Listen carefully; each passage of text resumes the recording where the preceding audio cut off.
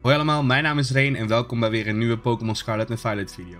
Vandaag wil ik het gaan hebben over het Terra Raid event die op dit moment bezig is in Pokémon Scarlet en Violet. Zoals jullie misschien al wel weten is er een tijdje geleden aangekondigd dat er een Daily Bird event zou komen en een Cinderace event. Vandaag wil ik het gaan hebben over het event van Daily Bird. Zoals ik net al zei, dit event is dus vandaag begonnen en zal duren tot en met de 25ste. Het is dus echt een kerst-event. Tijdens dit event vinden we allemaal Daily Birds in de Terra Raids. En zoals je ziet zijn er verschillende star levels, 1 tot en met 5. Dus hiervoor hoef je eigenlijk niet heel ver te zijn in het spel om aan deel te kunnen nemen. Gewoon vanaf het moment dat je Terra Raids hebt vrijgespeeld. Ook zijn ze niet heel moeilijk. Zoals je ziet, de 1 ster is level 12 en de 5 sterren raids zijn level 75. Nog steeds wel makkelijker dan Charizard. Dus als je bijvoorbeeld een Iron Hand zou hebben die echt heel goed getraind is, zou je deze raids gewoon kunnen soloen. Super chill is aan deze raids is dat je Terra Shards kunt farmen.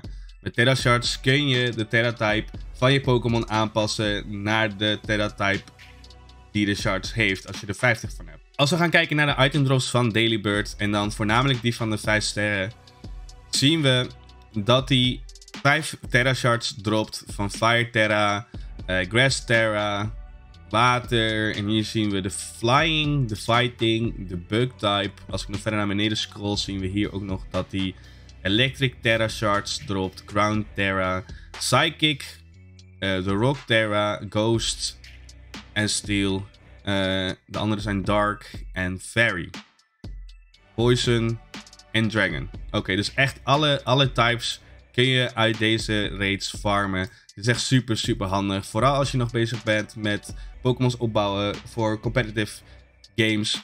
Zodat je altijd hun terra's kunt aanpassen. Stel voor dat je net om een bepaalde cover, coverage te maken je Pokémon wilde veranderen naar een andere terra. Dan kun je dus nu je kans grijpen om heel veel van deze shards te gaan farmen.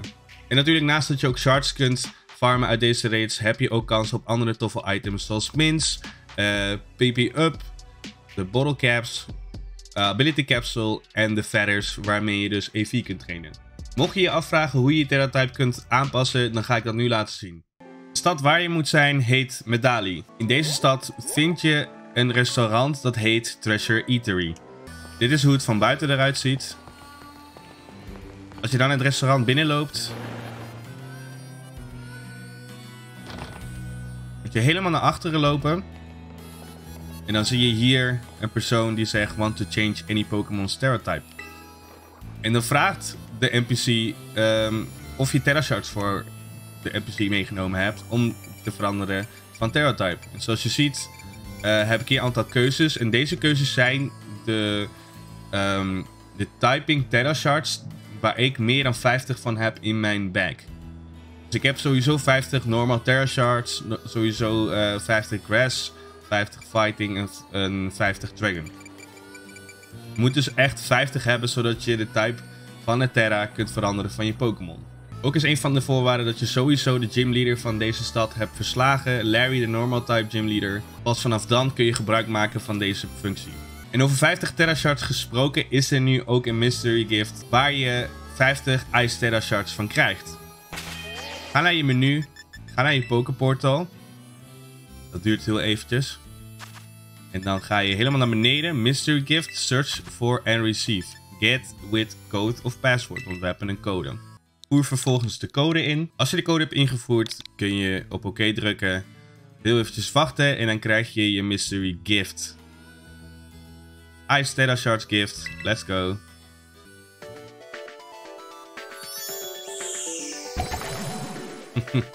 Cadeautje. En dan zie je, you got 50 Ice Terra Shards. Dus eigenlijk net genoeg om één Pokémon te veranderen naar een Ice-type Terra. Ik vind het op zich best wel een goede gift. Aangezien het je sowieso introduceert aan het gebruik maken van Terra Shards. Want misschien voordat je deze video keek of voordat dit event bezig was, wist je niet eens wat je ermee moest doen. Maar nu zul je het weten en zul je er ook gebruik van kunnen maken. En om je reeds te kunnen updaten na het event ga je naar Check Poképortal News zegt hij dat je connected bent. Dan ga je er weer uit. En dan heb je eigenlijk je game geüpdate. Hier heb je niet een Nintendo Online voor nodig. Slash internetconnectie. Dus mocht je het niet hebben, Ehm, je kan dan nog steeds niet met mensen online spelen, maar je kunt wel gewoon de online updates krijgen voor je spel. En voor de mensen die nog niet weten, dit is hoe je een event Terra Raid kunt herkennen op de map. Hier heb ik het perfecte voorbeeld. Hier zie je een Fairy Terra type raid. En hier zie je eentje van het event. Nou, je ziet wel duidelijk het verschil. Toch? Er zijn sowieso nog twee tips die ik jullie wil geven. Het is namelijk mogelijk om zelfs na de 25ste, wanneer het event afgelopen is, nog steeds deze raid te blijven farmen. Ik kan me voorstellen dat je nu denkt, precies op kerst als ik super druk ben met familie en vrienden, waarom moet precies nu dit event bezig zijn? Ik wil zo graag die Terra farmen. Dan heb ik goed nieuws voor jou, want het is nu mogelijk ook om te blijven farmen, zelfs wanneer het event voorbij is. Het enige wat je hoeft te doen is ervoor te zorgen dat je vandaag of morgen in ieder geval het event geüpdate hebt naar jouw game. En vervolgens gewoon niet meer online te gaan, dus niet meer verbinding maken met het internet. Dan blijft het event de hele tijd draaien op jouw Switch. En kun je net zo lang blijven farmen totdat jij weer verbinding maakt met het internet. Let er dus wel op dat je dan alleen nog maar offline raids kunt blijven doen, dus niet met vrienden. Deze moet je dus echt solo doen, zodat je ze blijft vasthouden. Mijn tweede tip is, als je geen 5 sterren raids meer kunt vinden, dan is het ook mogelijk om je raids te resetten van het spel. Dit doe je door gewoon een dag te skippen. Ik ga het laten zien.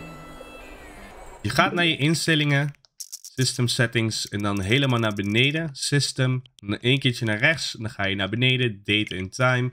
Deze zet je even uit, want anders kun je de dag niet verzetten. En dan verzet je je tijd met één dag. En dat is genoeg. Dan ga je daarna vervolgens terug naar je spel. En dan zie je dat de raid weg is en dat je nieuwe raids hebt gekregen. Ik heb dit echt heel vaak getest en er gebeurt niks. Je wordt niet geband, je krijgt geen problemen met je spel. Hij gaat niet crashen of wat dan ook. Dus het is gewoon compleet safe. Je kunt zo dus de hele tijd je race blijven resetten. Ik heb dat ook gedaan tijdens het hosten van Charizard Race.